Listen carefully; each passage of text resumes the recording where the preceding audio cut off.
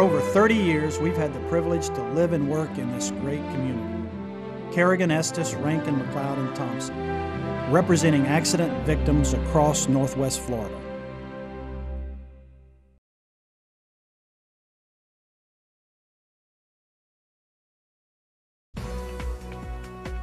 And now, from Pensacola, Florida, it's Within Reason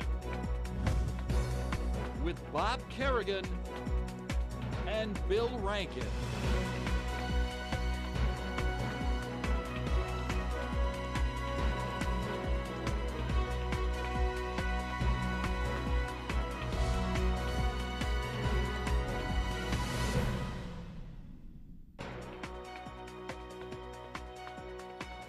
Well, good evening and welcome to Within Reason. Bob Kerrigan. And Bill Rankin. And we're glad that uh, you are with us. Now, before the show started, Mr. Rankin was telling me that he had some of the most marvelous material. He was so Oh, excited about great, it. Uh, I personally got a peek, and it wasn't all that interesting to me, but he, he is uh, interested in giving it to you for your input and reaction, and uh, just like just I pass, like this. This- this uh, just came to to you. Yeah. In America, in our celebrity culture, celebrities can pretty much get away with anything without losing their appeal to the public. I mean, Willie Nelson was stoned his whole life and never paid any taxes and wound up with some enormous tax liability. It's all that Willie. You know, they can beat up their spouses, they can ignore their kids, they can marry people they never met, they, they can just, just do about any immoral thing, and, and that's okay, except they cannot be politically incorrect. Oh. Gilbert Gottfried. You know what Gilbert Gottfried is? I'm not This sure. guy, Gilbert Gottfried is a guy with a weird voice, and he is, and he is the voice, among other things, the voice of the Aflac duck. You know those annoying commercials? Aflac. Oh, I didn't know his name. Yeah, see, that was Gilbert Gottfried. Okay. So he made a poor joke about the Japanese during the tsunami. Just, you know, to tweeted some bad Sure. taste jokes, not, not too terrible. They fired him. We cannot have the voice of the Aflac duck have the slightest moral stain in the area of political correctness. He's the voice of the duck.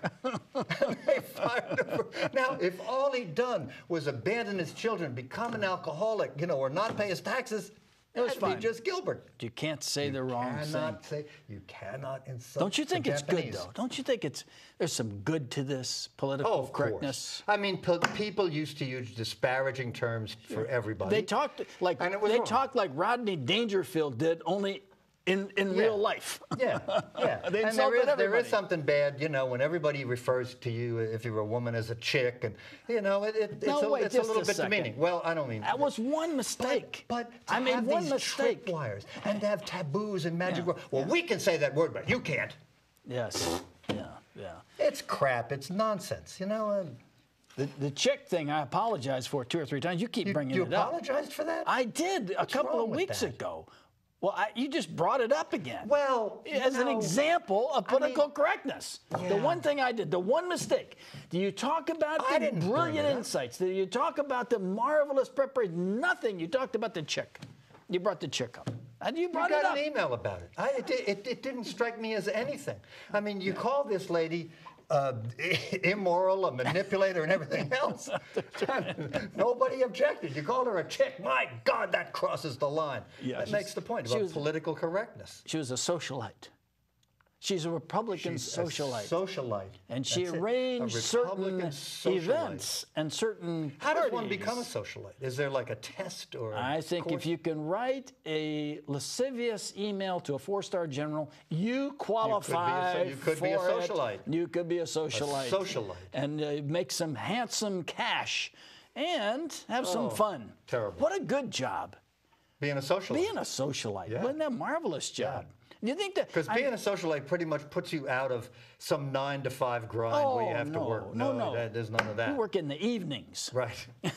Maybe all night. If it's an all night party, I'm saying anything wrong with that. Could be an all night party. See, she was a You, you had some uh, insights from uh, Eisenhower that you Oh, were talking about. Do you about have that. that? Well, Yeah, I that would be a little more inspiring than where we are now, probably. So, what do you have? Well, you and by the way, for you that those of you who maybe just joined us, we're going to bash everybody tonight. Okay, the $500,000 loan forgiveness people and all the other stuff. It's all coming tonight. I mean, we're sparing nobody.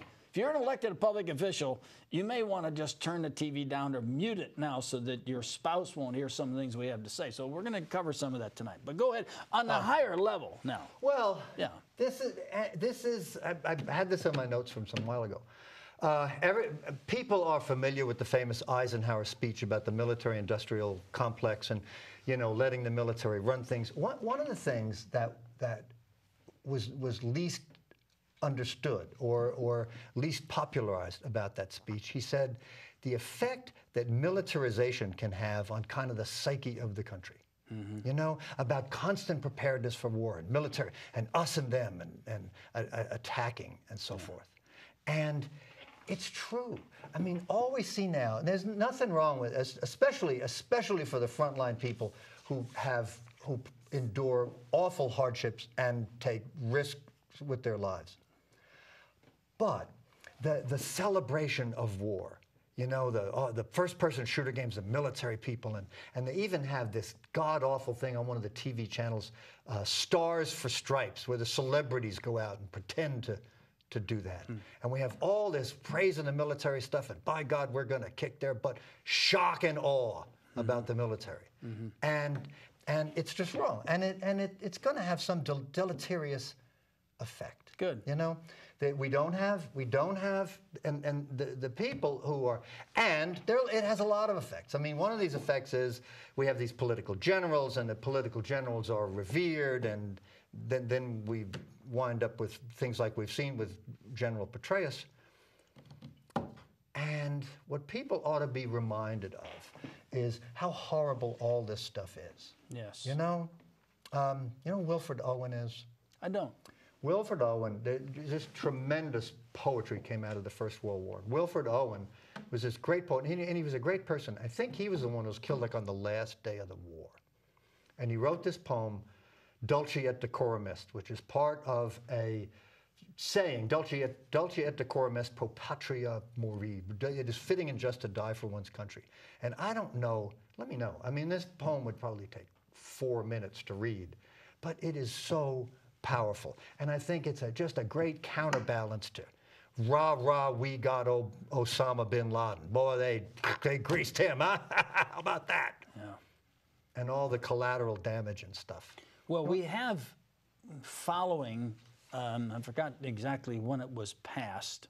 I want to say, I want to say during Jimmy Carter's administration. I'm not the, the anti-assassination law where we Yeah. can't go assassin, assassinate people. Um, but it, but in essence, we do it, and Yeah. now we're Yeah. doing it with drones Yeah. on a regular basis.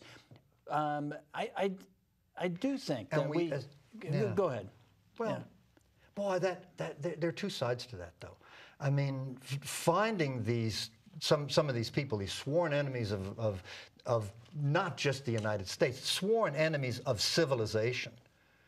Um, Might be the entire country of Egypt right now, but go ahead. But The you know, some of these majority some of of these people, yeah. awful. Well, Osama bin Laden. I Sure. mean, I, it's it's hard to say. Well, we shouldn't have gotten him and killed him.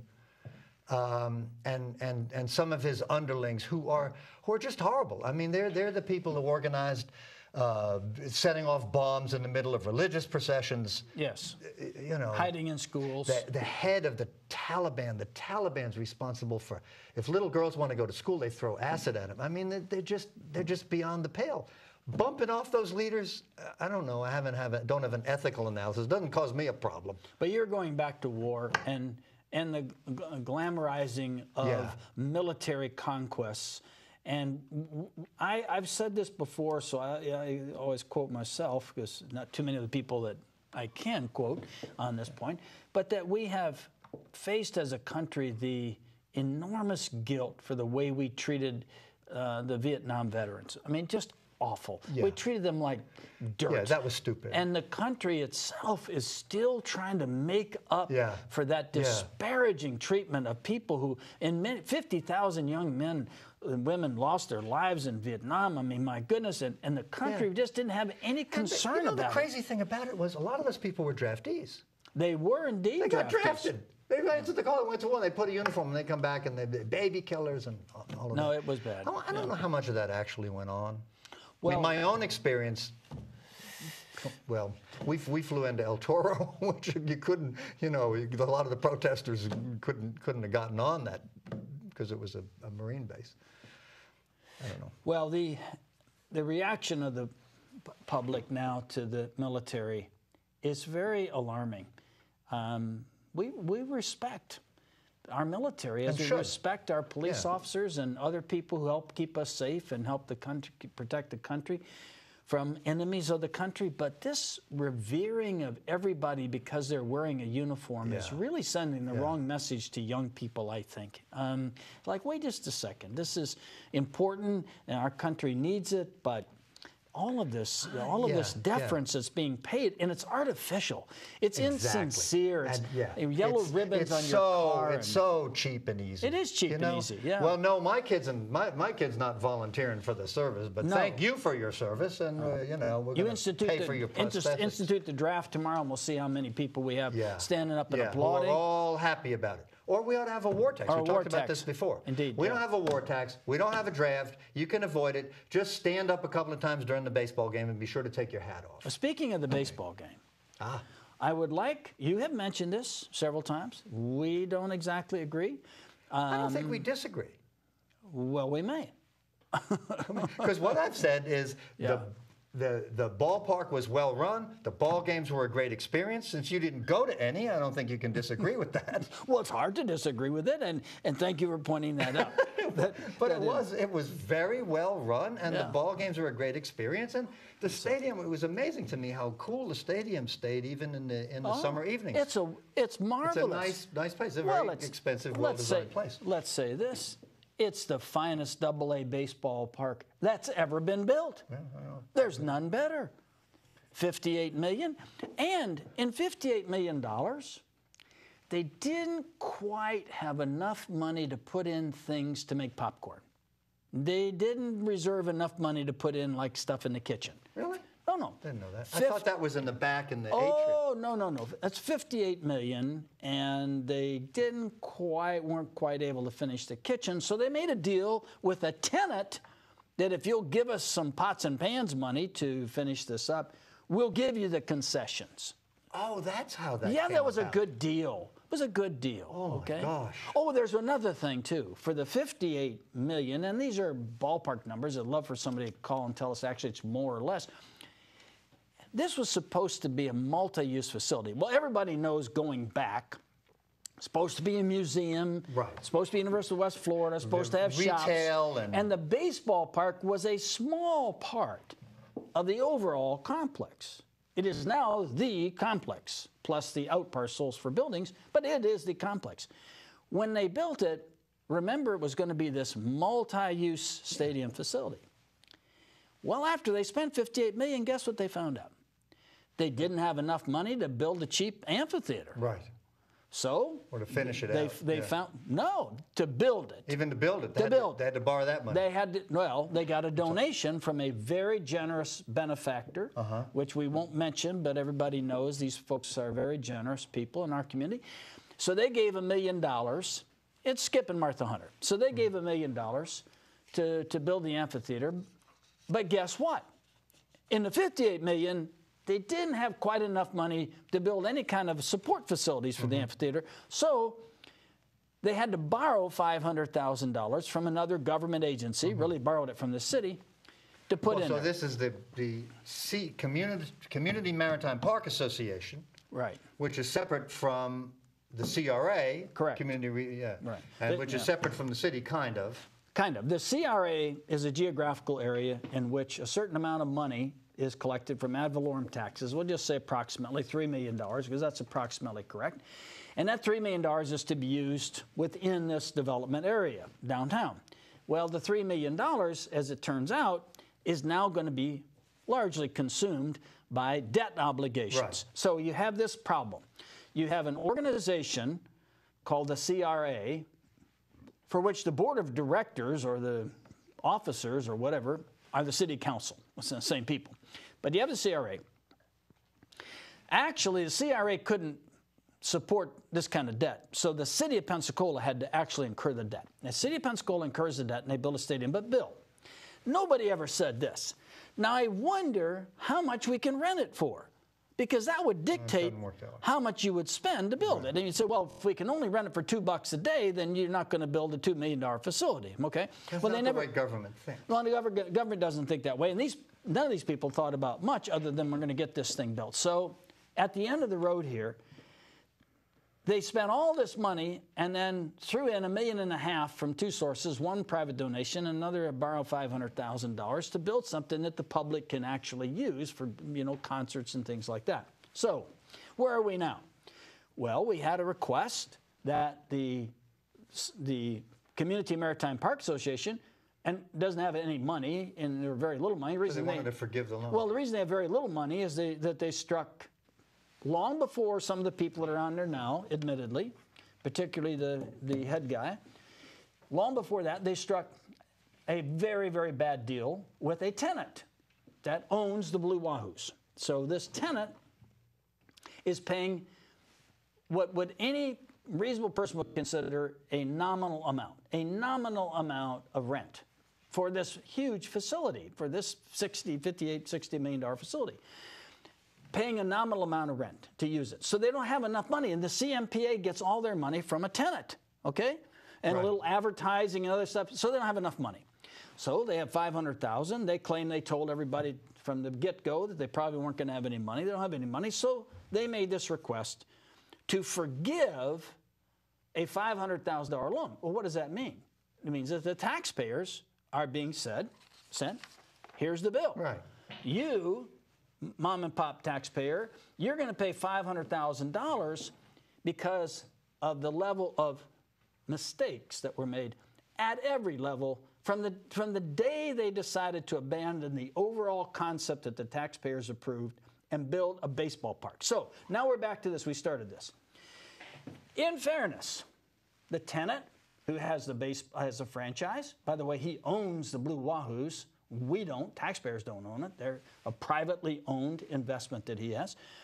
Runs his baseball thing and did a good job. And you said it, Yeah. right? Oh, every, everybody said it. And, Did a great job. I've, n- I've never heard any dissent. It's it's nicely run and it's a good experience, and I highly recommend it. It's fun. Highly recommended. Here's the problem that entity, the CMPA, and their tenant, who has the baseball part, has the baseball franchise, they sit over here and they get a little money from this for the CMPA and money for him, and they share different deals, and that's, that's fine. And, they're, and and the CMPA doesn't need much money to survive, maybe a million a year, so then they they got their own little deal going. Here's the problem: over here sits us, the taxpayers, and we're sitting here with a bill, okay, that's going to be what one of our esteemed writers has said over $80 million for the repay. But we're sitting over here with all the debt obligation, and these people over here who are running the baseball park and their tenant, they don't have anything to do with the debt. They don't have any obligation to pay the debt. And honestly, as far as the tenant's concerned and everybody else, they probably don't really care if the debt gets paid because if the debt is not paid, it doesn't affect it doesn't affect them. It affects the city. Isn't that always the way it is with a tenant? I mean, if you if, if you rent an, an apartment in an apartment house, you neither know nor care how much the owner owes on the debt. This is this is your rent. You pay your rent, and then you have the occupancy. But and the here's- tenant pays rent. now here- the tenant got an extraordinarily good deal in this case. Here's the difference. We are paying for it as taxpayers. This is not a private builder that owns a building or an apartment building. This is the government. This is our Right. government has created this financial burden for all of us and by the way, exhausted our borrowing capabilities with this debt, including the $20 million it's going to take to repay move in this sewer plant. So the combination of those two things exhausts our borrowing power through the hmm. city of the CRA. So we don't have, we can't do anything. We have, we have put all of our marbles into this basket, Bill, and that is to the baseball park. Now I'll just ask you, if I said to you, I'm going to give you, personally, just you, to, to preside over this for the benefit mm-hmm. of, the, of the city, $60 million to improve the city of Pensacola. Mm-hmm.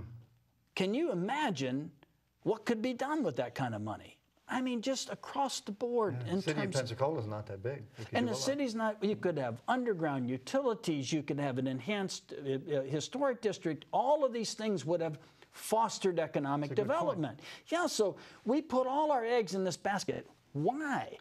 Why did we do that? Why did we get to this point where the tail was wagging the dog? And I do think the tail is wagging the yeah. dog now. And what we've seen well, with this 500,000 is the beginning of a long series of problems. There's, there's, there's no question that the, the ballpark is, is, a, is a big financial problem for the city right? And maybe 58 million. That's that's over a thousand dollars for every man, woman, and child in the city of Pensacola.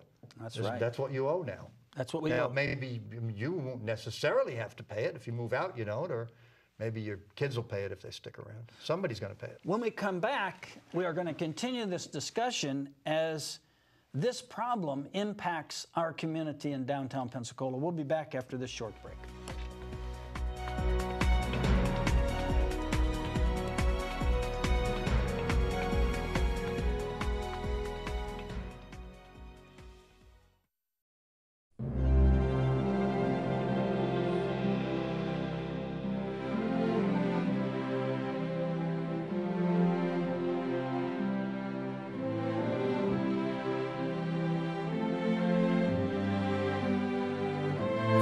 30 years, we've had the privilege to live and work in this great community. Kerrigan, Estess, Rankin, McLeod, and Thompson, representing accident victims across Northwest Florida.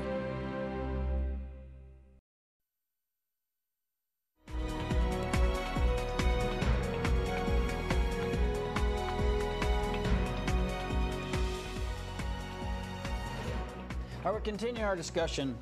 Uh, Bill made a couple of good points um, during the break. Why don't you just well, we, we, we, we were going to talk about what, what is the effect of the baseball park. We've heard complaints that, well, people come to the baseball park and it's, it, it, there's only so many dollars. Most of the people at the baseball park are local people. Of course, people are coming from distant places or they're visiting, but most of the people are Escambia, Santa Rosa County. You, you've just, you just got to assume that. They're not, they're not coming great distances. And one argument is, well, there is a very limited amount of entertainment dollars. And if you go to the ballpark and you buy hot dogs and, and all of that, the prices to get into the ballpark aren't high. The prices for the concessions are not cheap, but uh, not, not, not major league standards. But if you're on a limited entertainment budget, you might blow that at the ballpark and not go to a restaurant. That's one argument. Another argument is the, it, it is such a nice attraction that some people trying to decide whether to relocate themselves or their business, you know, there's city A, B, C. Well, I really like Pensacola because that yes. ballpark is really fun. In fact, I'm looking forward to the baseball season because I'm one of the many people who really enjoys going to baseball games. I think it's a good point. It could have a positive economic effect. And, and we hope it does. How could you not hope it, it will be positive for the community? What kind of person would be wishing for doom and gloom? It, it's just that it needs to be objectively evaluated. And one of the things that we hope we can do in the course of this program is to talk about well, who made all the money? Who got the fees? Um, consultant fees, processing fees, loan application fees, loan fees, new market tax credit fees, uh, these fees, um, they blew two and a half million dollars on an incompetent developer. Yeah. I mean, so there's so much money that was wasted here that we, as, as taxpayers, we ought not to just say, well, "Okay, let's move on." Let's move on. It's it's too it's too bad. Let's move on. No, no, we're not gonna we're not going to move on. I don't think we should move on. We should know how did the city council fall asleep during this entire process? What was the city manager doing during this entire process where this thing just went downhill like 90 miles an hour? The city council directly got involved and micromanaged and screwed around hiring this developer. They did it. They're responsible for it. Well, well, what did it cost us? Well, the answer is I think it's in the millions and millions of dollars. And I'm back to this. We've spent, we put all of our eggs in this basket for economic development downtown. I'm, you're talking about all your all your borrowing power. Everything was committed to this, but nobody started off saying, you know, we're going to commit every dime we can to this economic development project. It didn't it didn't do that. It just kind of grew, and other people kind of pitched in, and they constantly had it was musical chairs. You had different people involved, different people getting fired, and on and on and on and on. We ended up with this marvelous facility. Now the question is, truly, what's going to happen? You could have built a baseball park for less, for sure, and a lot of this cost down there was remediation of the site, you know, because mm-hmm. of the pollution. I mean, yeah. the pollution through the years. So the site had to be remediated. That's where a lot of the money went, or a good part, part of the money went. We want to be fair about it. But I do think that the subject deserves a continuous discussion because the day of reckoning is coming on this ballpark. And as a community, we need more and more citizens informed and we need less and less blue sky from the people who are benefiting by this short term. We, we need hard questions being asked by informed people. And we hope to accomplish some of that and to be fair about it, hopefully. And, and I think the overarching thing about a lot of this, and one of the reasons I'm so much in favor of smaller government, is government does all kinds of things that sound good. Well, we're going to, here's a poor area. And what we're going to do is we're going to put money into the poor area so it can be developed, so there'll be jobs for poor people, and people's lives will be better. And there are so many ways to game those things. There are. Well, indeed. we're going to put my little space inside. As a politician, this is going to be inside the poor area, and then I'm going to get all kinds of tax breaks for me because I'm living in a poor area. Or like you said, some of the some of the fees that go to people doing bonds and and those this is a fe- things. This is a feast better than the best Thanksgiving anybody could imagine in this business. That is tons of fees. When we get the final fee numbers, we're going to post them on our website and we'll cover them on the air. Who got all this money? Because every penny that goes out in fees, some of it's required. Okay, you have registration fees, issuance, uh, well, bond you issuance you fees. You can't issue bonds without yeah. incurring you, you, you've Got to, you've got to pay costs, but these are very expensive propositions to issue bonds and create debt this way for purposes of construction. And so you lose a lot of money from the cap of your debt to the disposable use of the funds. There's a big, big margin there. And the question is who got all that money? And we ought to know as, yeah. as a community. Was there an alternative? Who's paying attention to it? Who was paying because attention to it? Because in politics, a lot of times, they, they, they, they care not all politicians, and, and certainly I don't think the city council is necessarily any worse than anybody else, but a lot of times you see so-and-so's friend got this really lucrative deal, and you wonder if they're, who they're looking out for. It's a problem with government, doesn't I've um, traveled some in, in some countries where corruption is pervasive. Oh. I've talked with people about the corruption in their countries, and they're well aware of the pervasive nature of corruption. And corruption is pervasive because it's in, endemic to human nature. And this, in this country, it's a little bit more uh, subtle and a yeah. little more concealed. It is. And not as quite as overt, handing somebody five bucks to, you know, get your, your ticket fixed or whatever. Here we're much more sophisticated. But we're the same human race and we have pervasive corruption, and it finds its way in and out of government because there's so much money. That's what kills me about these conservative businessmen. They're the first ones in line for government oh. deals, oh. government contracts, government benefits. They're the first ones, and then they want to scream and holler about how There's conservative they are. Tons of corporate welfare, all kind of corporate welfare. There's a good book yeah. that's just been written. Oh, it's the subsidizing of America. I, I, I, I, I say good book. I heard a summary of it, and then I read um, a brief recap uh-huh. of the uh-huh. book. We'll, we'll cover that again. The subsidizing, subsidizing of America everything. that talks about all of the areas in which uh, corporations have gamed the system. What you were talking yeah. about earlier. Yeah. To, to, yeah. To, happens all the time. To get to get the it, money. It's everywhere. Yeah, yeah it is. I mean, the, the, the, the ethanol subsidy, the the farm subsidies, handing out loads of money to people to grow or not grow crops. Well, I mean, what, why don't we have a free market? in that area. It's Why interesting. Just... The people who are the, the entrepreneurs or the self-claimed entrepreneurs and the, and the uh, free enterprise people they a lot of them not so a terrible generalization but a lot of them are quite quick to get in the government line okay with You whatever bet. their government deal is their special tax deal their special benefits their inside deals on contracts i mean it's disgusting it's like don't tell us how conservative you are just spare us that Yeah. okay you Yeah. say whatever else you are but don't tell us you're conservative and that you believe in a free enterprise system and uh, smaller government And it all What? sounds so good. It sounds doesn't great. Clean energy. We need to invest in clean energy. Now, who could be against that? That's a, that's a great idea. The, some of the corruption surrounding that, and it goes right to the Obama administration, is abominable. That's a valid, valid point. You've made it before, and I've agreed with it. I think it. Uh, How about this? The, a, a couple of the auto magazines made the Tesla. Tesla came out with a big sedan that's a pure electric car. It's a beautiful car. And they have different prices dependent upon it's this, it's this great big. It's got this very fluid, almost voluptuous design because you can you have more design choices I've when you have it. an electric car. I've, I've seen the, the. I've seen the coupe. It's beautiful. The small one. The, No, the little one was. The little one. The little one was just based. That was kind of based on on a, a Lotus car. This is a design from scratch car, Hmm. and it is a beautiful car. And and they've they've made some great design breakthroughs. It's just that the market really can't support it right now. So every time a rich person, and you got to be pretty well off to buy one of these, they're like a hundred grand. Every time somebody buys one, the government helps out with seventy five hundred dollars. I think it's nice.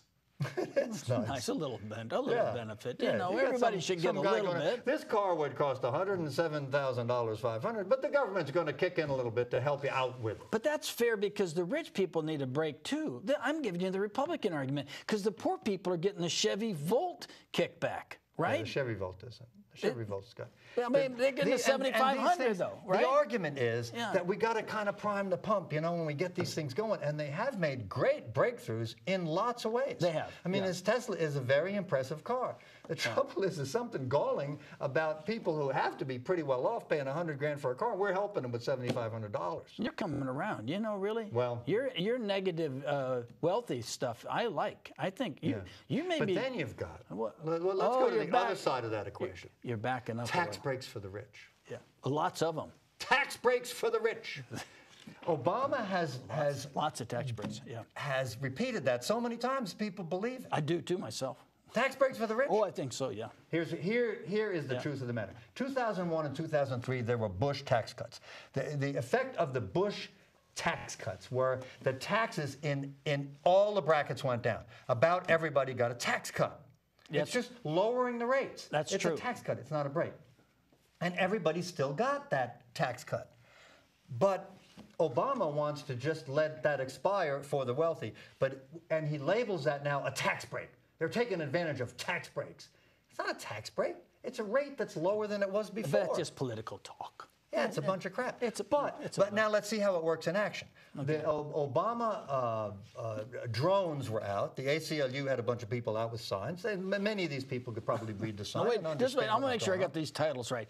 The ACLU people are drones. No, I mean no. AF, A, AFL-CIO, oh, the union people. Yeah. All the union people were out. All union people are They drones. were out there. Drones. They, well, some All of them are. Some. Some of the ones with the signs are union drone. They had signs. Yeah. Uh, they, they were picketing. This is on the front page of the PNJ. Yeah. Picketing Jeff Miller, saying, "Don't touch our Social Security. Don't touch our Medicare. And and and in order to pay for tax breaks for the rich." Yeah. And I, you're just dying to go talk to people and say, "Which tax breaks are you talking about?"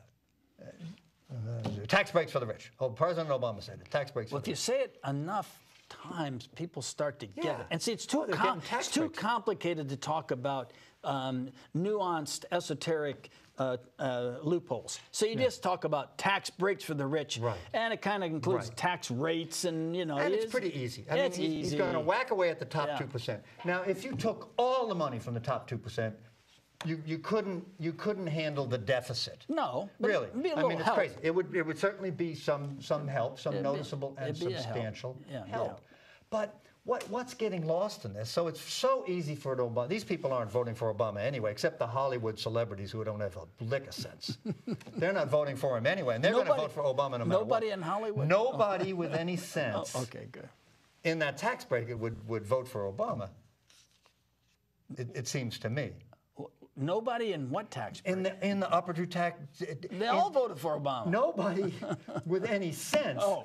Among the people he was labeling as selfish. Okay. Not paying your share. You're not paying your share. He was kind of mad about it. He said, so, you know, you, you didn't build that. You think you're so smart. There are lots of people who are smart. You got a lot of money, and it's really kind of everybody's money, and we're all in this together, this flawed concept that we've talked about before. Now, what gets lost in this is with a little political courage, mm-hmm. you, could, you could do things that the economists say are good, and, and lower, you'd, you'd raise more taxes. A lot of people would pay more taxes, Yeah. but you could lower the highest marginal tax rate. How about this? They won't touch. Obama is afraid to touch the home mortgage interest deduction, even insofar as it applies to your second home. You have a home mortgage interest deduction for that. That's Because because the realtors. of the time-honored profession of real estate. Right. Uh-huh. There are so many We're going to do a special after the first of the year on misleading jargon and jingo from real estate agents, including advertisements about cute and cozy, which usually Yeah. means a near disaster that can't needs to be demolished. All right, now I want to ask you a question about that. A lot of these, a lot of these tax deductions just don't make a lick of sense, and they should be They should be. eliminated. They're just gimmicks in the tax code. Let's clean it up. And another thing, if if he's successful, the only thing he wants to do is raise the tax rate on the upper two percent. He's going to spend more. This isn't going toward the deficit. He's talking about actually more spending. I agree. Nancy Pelosi, agree. we've already cut a trillion dollars. Here's the cut. They have projected a slowing in the rate of increase, which only in Washington is a cut. I agree with Really, it's just nonsense. Why do you It's always mention Nancy anything. Pelosi? You make me defend her position. No, you don't have to defend her. I mean, if I remain silent, it looks say like I agree. Nancy Pelosi is a wretched person, and most of the policies she espouses make no sense for the country. It was you could agree to that. Well, I don't care for her because I think she's the worst thing that could possibly happen to the Democratic Party. But I want to ask you this question. This is going to embarrass you now. I'm telling you, because I got facts now that are just going to knock you down. Let's have it. All right. I'm right. ready. Did you believe that the government was right in the AIG bailout? No. Ah, why? Why was the government not right in the AIG bail? Yeah. Because what these bailouts were, were contrary to the way the free market works. Okay, what Let if- it happen. What if I told you this? The government made money on it. You got it. Right. The Well- government made money on the bailout and saved the economy, and Obama was the person that did it. Tease your way through Obama. the accounting. Huh? Tease your way through the accounting. And it doesn't always work out that way. Well, I tell know? you this: they booked a profit. The United They States did. government booked a $30 million profit on the sale of the AIG stock. Now, was it a great deal for the government? No. But the government interceded when they had to. You know, if the AIG Yeah, AIG. The, the, the AIG block the failure was oh my gosh AIG was writing insurance policies without anything to back it up, and, and the regulators let them do it. they let them That was it. the problem. They were they were basically insuring all of these uh, collateral mortgage obligation deals. They were, and they could hardly wait to do it. And then Yeah. Michael, what's his name? nothing to back Mike- it up. Guy Lewis, he was selling them short. Yeah. I mean, or, Yeah. or buying Yeah. their short position over and over and over again. The Big Short, a great book and talk about. But the point is, Obama saved the car industry, and he saved AIG. So, okay. okay. Obama did not save the car industry. General Motors went bankrupt. It was a political bankruptcy. It should have been a legal bankruptcy. The result would have been pretty much the same, except the unions wouldn't own the company. Somebody else would own the company. Maybe Well, the shareholders would own the company. Well, the I- actual shareholders have paid for shares. I think the bondholders got screwed. I The bondholders got screwed. Yeah. The union got benefited. Yeah. The, the result would have been the same. They said, oh, if we let it go to bankruptcy, all, all, of, the, all of the vendors, all the people who sold it, they all would have gone bankrupt. It, it was a prepackaged bankruptcy. You can do that. The government, th- th- there are arguments either way, and nobody can be 100% sure, and I'm No. less than sure But you're giving about me, this. Are you giving me AIG today?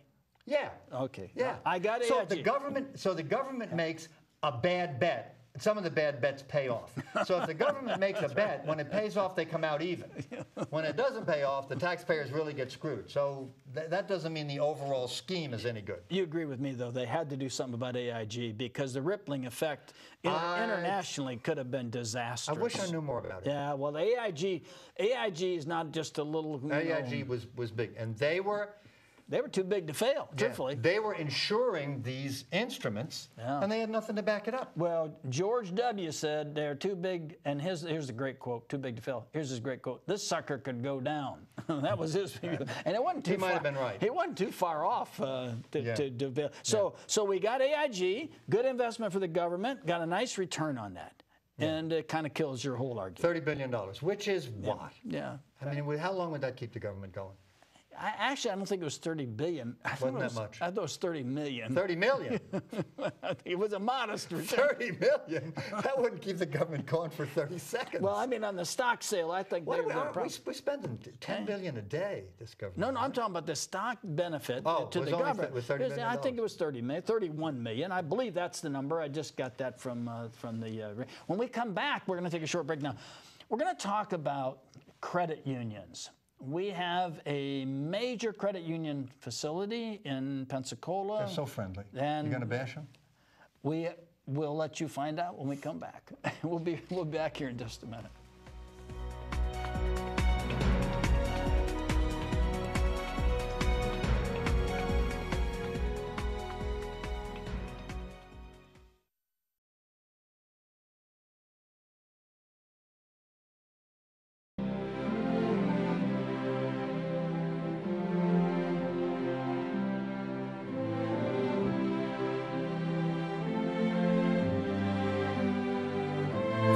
30 years, we've had the privilege to live and work in this great community. Kerrigan, Estess, Rankin, McLeod, and Thompson, representing accident victims across Northwest Florida.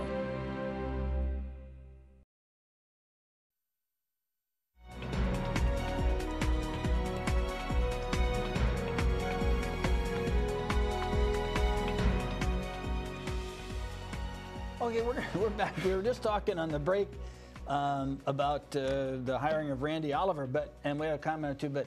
uh, You're gonna talk about credit unions, though. Oh, we'll talk about credit unions but near the end of the show. Because let's say that because we don't want to have anybody have any time to respond to that. You know, I mean, you. I mean, I want to just. No, I, I, you know what? I feel the way you do. Oh, you about it. do? Yeah.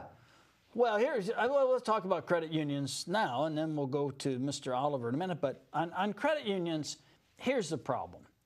First of all, they started out in in a very narrow um, Yeah. clientele. You had uh, Eglin Federal Credit Right. Union, and you had uh, um, you know the the whatever credit People in union. a uh, business Yeah, the could get together employees and of the- pool some money and loan the money to each other, and, and they didn't they didn't have to pay taxes and they didn't have to do all the things a bank would do because they were just a bunch of people kind of pooling their money, people who were associated with each other. Yeah, exactly right. And so it developed that they became very successful because they didn't have to pay taxes that all of our local banks pay. Okay? So credit unions don't pay taxes. That's that's a big problem. But aren't they aren't they just limited to the you know the, oh, the small group and not I think exactly? I think if you have two eyes and you can walk, you can join. you there are credit unions you yeah. can join if you live in the county. Yeah. If you live in Escambia County, you can be a member of this credit union. There's there are credit unions you can join. I don't care who you are. You can figure out a way to join a credit union. And so the the, the problem is they compete with local banks Right. unfairly. They can beat them on interest rates. They can do other things. And every year in the Congress, there's this big fight. Hey, you no longer are a small group of people that are helping each other. You are a massive business with a huge lobby, and you don't want to pay taxes. So let's just talk about fair share. If we had credit unions contributing paying taxes that banks pay, that would be a huge revenue That would source help, wouldn't it? in this country. Yeah. Yeah. Talk about f- paying your fair Freebies. share. Why do credit unions not have to pay? You probably don't want to hear about churches. Not right now. No. Okay. but, but anyway, on credit unions, are we glad the big credit union here, Navy Federal? Of course. course we are. They're a great employer. If we're going to have a credit union centrally located, this is a wonderful community to be located in. But the truth is, the bigger issue is that we uh, uh, have an unfair tax situation for our local Yeah. banks. It's tough for our local banks, and they're so overregulated anyway now. Yeah. It's, it's if you just want hard. to borrow money for a, for a car, you, you get a better rate at a credit union. You do. And if you don't have to pay taxes, Yeah, you can you can do all right if you don't it's have a to pay big taxes. It's one of the reasons Amazon.com is so popular. It you know? is, yeah. Most of the time, you're not being charged tax on what you're buying. I- that's just simple sales tax. Yeah, and exactly Yeah. right. They're not paying. All right, now let's talk about Randy Oliver for just a minute, okay? Yeah. You had a comment about uh, his his work with the commission and, and what happened to him. Well, Ra- Randy Oliver had these these very varied uh, uh, reviews by the county commissioners. Some liked him, but some of the county commissioners really didn't like him because Randy Oliver didn't support them in certain things or did things that. Uh, they then and Rick Outzen had a pretty good analysis of what Randy Oliver did, which was kind of blow the whistle on something that sounded illegal, which really kind of got him crosswise with one or more of our esteemed long-term county commissioners. So Randy Oliver got fired, basically, by the county commission. and he has wonderful academic and experience qualifications. We were lucky to get him to come here. So, so here's, can you imagine now, if you're bright enough to be hired as the county commissioner, you're too, I mean, as the county, county administrator, you're too bright to accept the job. Exactly. Who are they going to get? This was for Bobson. Who are they going to get? Are you going to work, want to work for these clowns? That if you, you know, if you're doing your job and you're looking out for the taxpayer, but you, you, because the way the county commissioners see the do- job, the county administrator is going, is a lapdog and has to do whatever they want. which is uh, a form of government because of these single member districts. You know, we haven't Yeah. talked much about this here, but it goes back to many, many years ago, federal court decision saying because your minority population isn't adequately represented, you have to elect people by districts. And it's an archaic form of government. We need to have five commissioners elected uh, countywide. Now, get, think about this. The, these five commissioners, and we'll talk about Randy Oliver, finish that in just a second, but these five commissioners um, each have a chunk of money from the local option sales tax.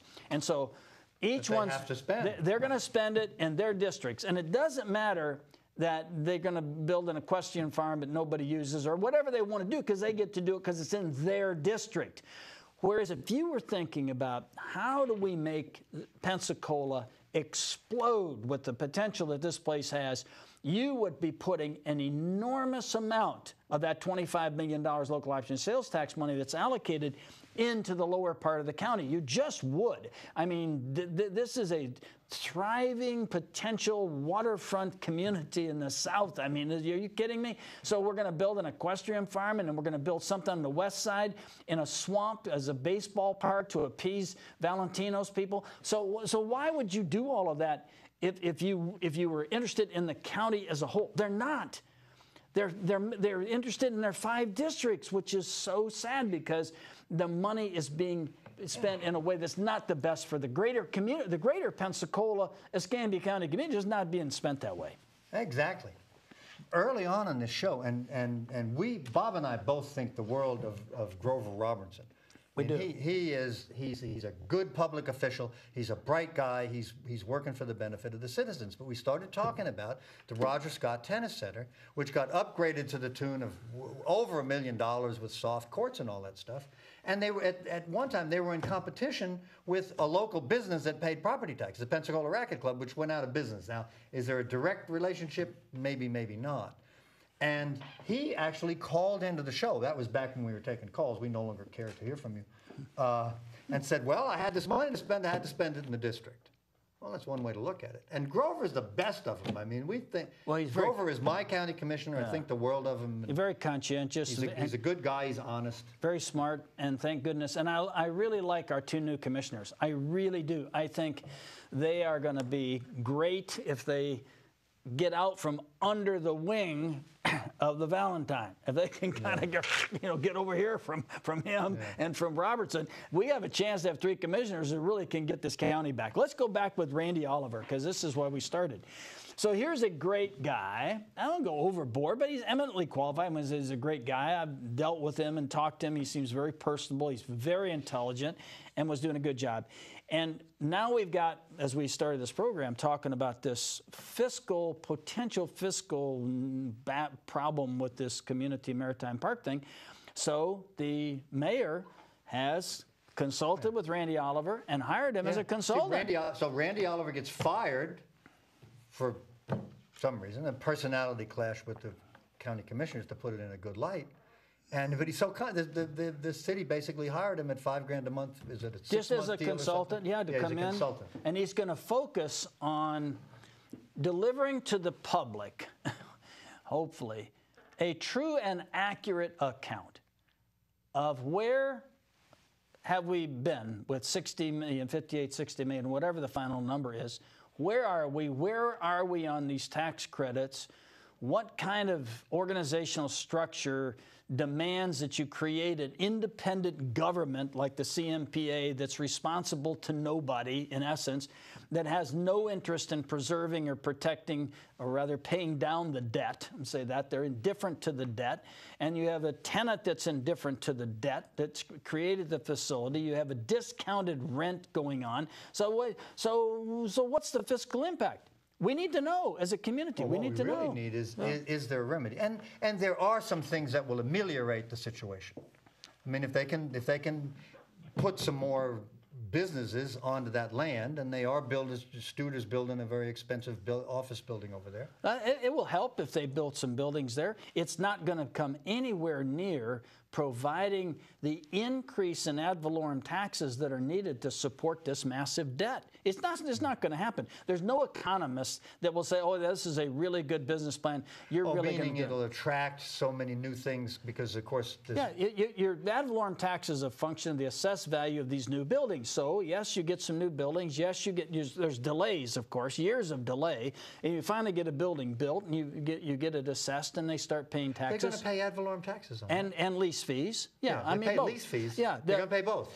I think I they do. I think they pay. I think they pay. Uh, that's a good point. I think they pay ad valorem. Because the land isn't is public land. Of course, I think they pay ad. They pay a lease, and I think they pay ad valorem tax based on the, on the structure that's on the land. I think that's that how that be, works. That would be fair. But they also thought that there would be more buildings built downtown, more you know improvement in, yeah. the, in that. What I would I would add to the ad valorem tax uh, base, and and Hopefully that'll happen.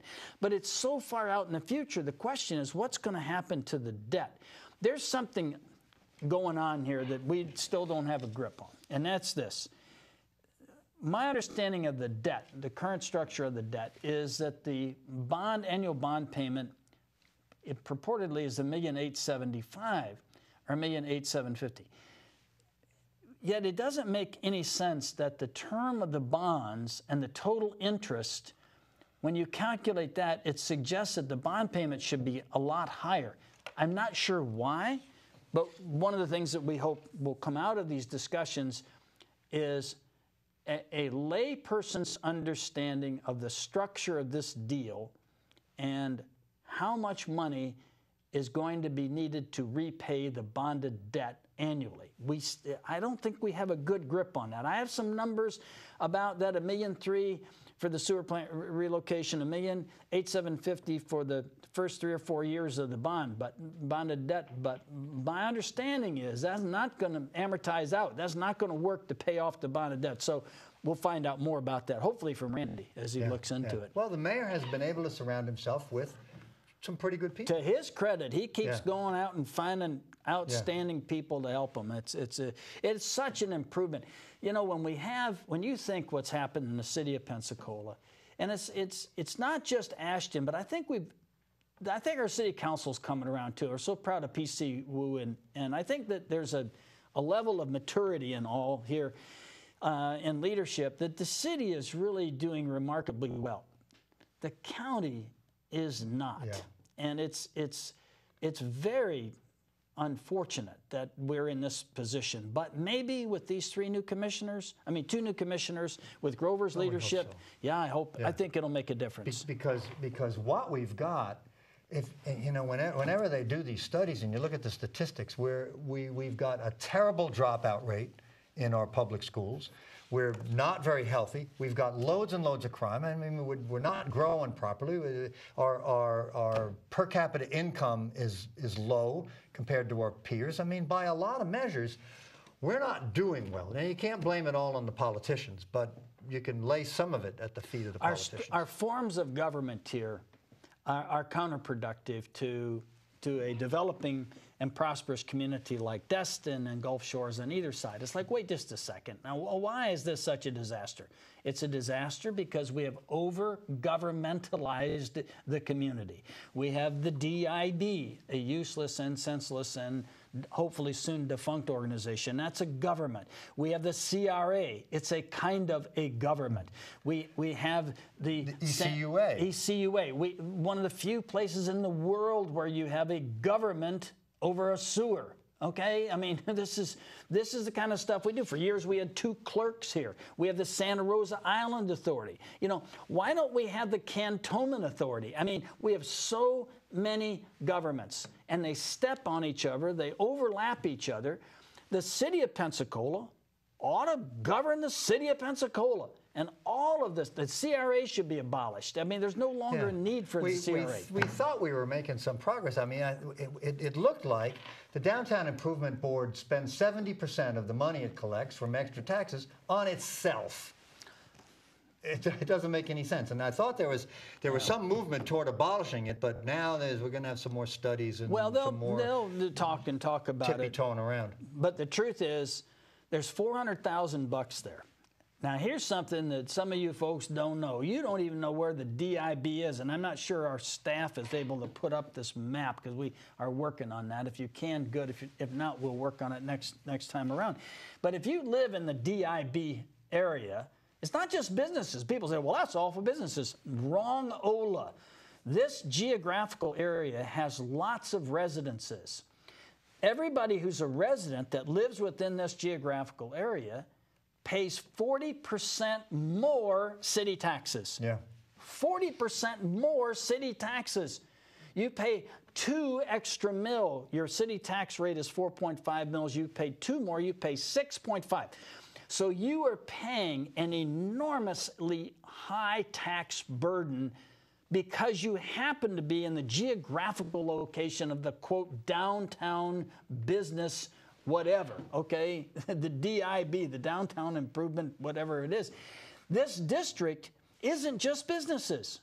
Now, businesses want to tax themselves, fine, but when the public really gets tuned into this bill, that they're paying this big tax burden and they get no benefit, no benefit from it at all. I think people are going to say, you better, you better spend this money wisely and you better do it pretty fast.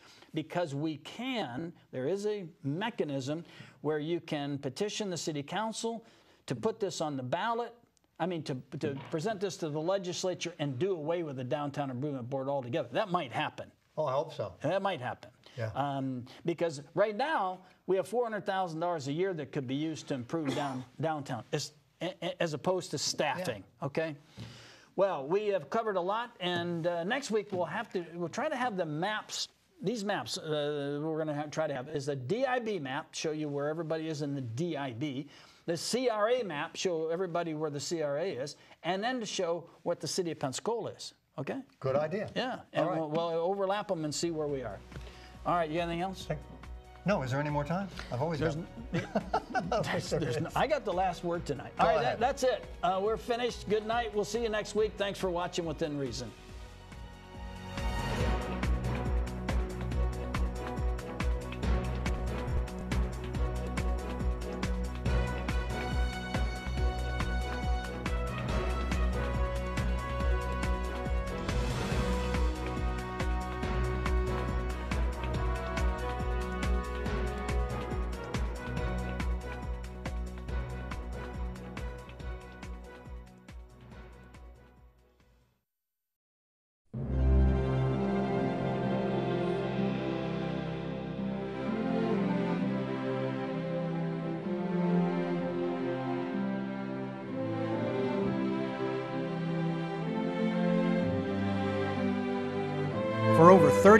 We've had the privilege to live and work in this great community.